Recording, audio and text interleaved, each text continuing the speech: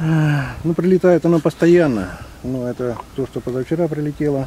Э, Явно 152 потому что такой мерзлый груд вы- вывернут наверх. И, как видите, э, глубина самого разрыва равняется больше метра.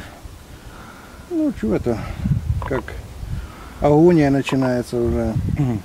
Травнивое Гладосово заняли, раструбили на весь мир, на 10 километров продвинулись. А итог один, дальше ни шагу. Серая зона была, Минские соглашения.